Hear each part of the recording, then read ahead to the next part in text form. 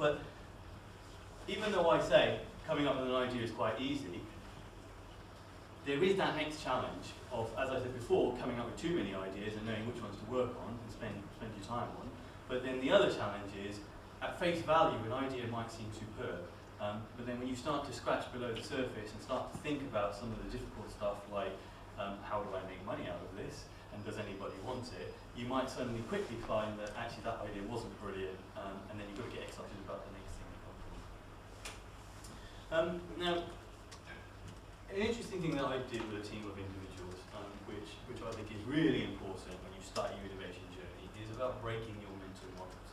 So um, I had a room full of um, supply chain directors, funny enough, and I asked them, gave them a piece of paper, gave them some paper clips, and I said, look guys, can you, can you, I'm going to give you 15 minutes, you're all going to compete against each other, I want you to make a paper airplane. And then what we're going to do is we're going to stand on one side of the room, and we're going to throw it, and whoever goes the furthest wins this competition. And it was amazing. For five minutes, I heard people saying, oh, there's a trick here, there's a trick here, what's the trick, what's the trick? And then for the next five minutes, they all made your bog standard paper airplane. And then five minutes afterwards, they were then playing around with paper clips to try and make it a little bit heavier so that it was all more aerodynamic so it could go a little bit further. And you know, you had you had people who were trained as engineers in the room, they were doing all sorts of fancy stuff and, and it, it looked great. And then we stood on the other side of the room, and invariably there's always one person who understands what, what I'm trying to achieve in this task, um, but, but leaves it to the last minute. And they all stood in the room, one guy literally took, took a few paper clips, put it in the middle of the piece of paper, scrumpled it up, and then locked it across the room, and of course, it went, it went the furthest. And, and that's what's, what, what's interesting is, he, he didn't, I mean, it was a bit about the language that I was using, but he didn't automatically jump to it has to look like an airplane, it has to be safe, it has to be aerodynamic, it has to be all these things. He, you know, my specification was very simple. All I cared about was how far it goes across the room. You're not putting passengers in there, you're not putting cargo in there. You know, just think about things differently and, and just try and do something different. And actually, sometimes with ideas, you have to move from the sublime to the ridiculous, and then and don't think about how you're going to actually do it. Just think about you know what it is that's going to meet your customers' needs or find new customer needs, and then start to work backwards to okay, what is more realistic? What can I actually do? And you can still find a middle ground in there that could be a really exciting idea. Um, but now, now that you've broken people's mental models, you still need to have a way of getting people to think outside of the day-to-day and, and come up with something different. Because at the end of the day, you've all got businesses, and those businesses have a set of capability. In some cases, you've got a product, in some cases, you've got a service. And, and to be honest with you, if, if you're, I don't know, making widgets or, or doing business process outsourcing, and someone comes up to you and says, no, let's actually stop doing all of that, because I've got a great need around sending a man to the moon, you know, you're going to sit there and say, well, that's great, and that might sound innovative, but that's not in my space, it's not something I do. So ideas have to be realistic and they have to use your common capability. And so what I always um, try to do with people, and, and have, has been very successful at coming up with new ideas, is I said, look, it is about collaboration. Don't do these things in isolation. Get a bunch of people together and start having a conversation. But you have to facilitate those conversations to a point of moving to the sort of creative frontier of your mind. So what, what we'll tend to do is we'll say, okay, what is, what is your core competency? It sounds really obvious, sounds really, really obvious, but when you start to actually look at your sort of internal canvas of what you do, you suddenly notice that you've got a lot more capabilities than you think you have, and you've got a lot more competence than you think you have. And when you start to frame that up, you start to come up with ideas. And then if you say, right, let's imagine the future. What are the burning platforms that are going on in the world?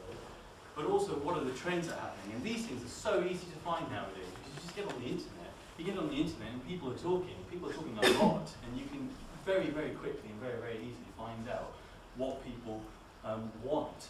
And then you can start to filter, filter those back in and collaborate with your teams so that you actually come up with some innovative uh, innovation opportunities. Um, I mean, effectively what I'm talking about is associative, brainstorming. Um, and you know, this is an example of something that I've used before, where effectively what we did, what we did was we, we, we framed what the future looks like, and in framing, don't, don't absolutely look at what everything that's on there. Um, you know, we try to imagine what, what, what does 2020 look like, and if all of these things happen, what impact does that have on our business? And after analysing what impact it has on our business, what, what different things could we do? What new things could we do? What new ideas can we come up with? And, and actually, this always seems to get people talking. And the first initial ideas don't always seem to be that great, but after uh, several conversations and several iterations, you get to a point where you've got something pretty good that you can start playing. with. But now you've got an idea, what do you do next?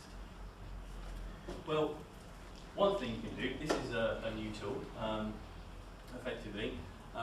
this is the business model canvas, which um, which is something that I've used a few times. And, and you don't have to be doing The point is you've got to start asking yourself some really important questions. You know, who, who are your customers? How are you going to deliver your product? Um, and um, what is the customer pain that you're actually resolving here? Um, and then the most important question: How are you going to make money out of it? You know, is there a commercial model there? Is there a price point? You know, do you use, is it just the price or do you do something slightly different? Um, and then you've got to start testing these things. And, that, and that's the most important thing.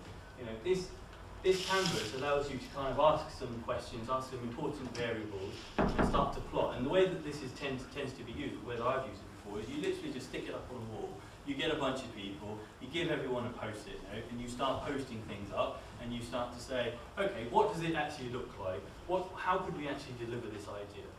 But you don't do it just once, you do it several times. You come up with several different business models. And then you take each of those post-it notes and you turn them into hypotheses. And after turning the hypotheses, the purpose of that is you then go and test them.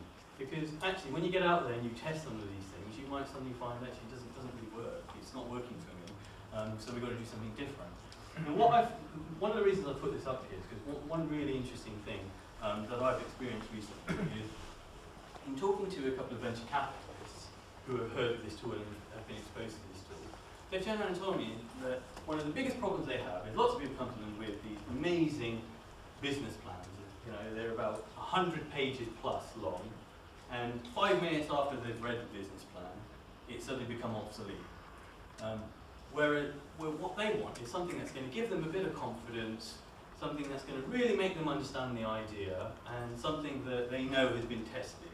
And actually, this tool has actually provided that gap for them. So, and, and in some cases, the people who I know who have been very successful at using this tool are people who have put it in a room and brought their venture capitalists along and said, right, I'm going to talk you through this. I'm going to get you involved in the process of shaping up some of these ideas. It doesn't always work, and I'm sure there are lots of venture capitalists out there who are not absolutely interested in this.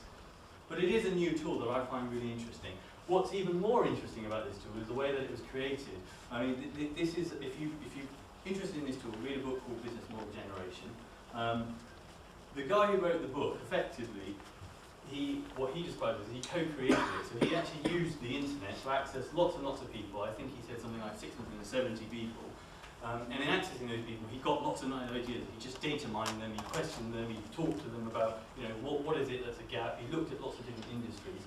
And then he wrote his, he created this tool and wrote his book. And in his book, it clearly says there have been 607 contributors which in my, in, you know, from my perspective, I think is, uh, is, is a fantastic innovation in itself.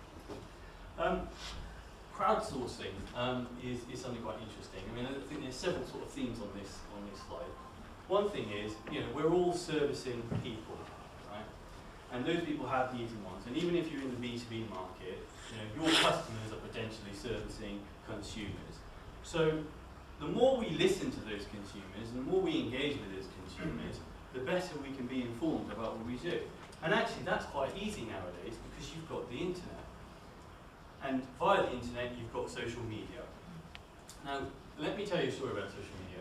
I, the first time I got uh, involved in using Twitter, um, I don't know what the heck it was about, if I'm honest with you. I thought it must be a great tool because so many people are using it, but what's the big deal? Um, so I, I loaded up, set up a profile, was quite proud of myself for getting on there and sending my first tweet, which I think was as simple as hello world. Um, and then I thought, okay, right, now what's going on? So I started following people, and all of a sudden, I had millions and millions of tweets, and I was just sitting there at my laptop watching. And I have to admit, really, really sad, I did this for two days solid, watching, thinking, what the heck is this all about? Suddenly learned how to use hashtags, um, and you know, it's really easy to learn how to use this. There's, there's so much material on the internet. So if you've never used it before, like, just just get on the internet and start start having a look and start having a play.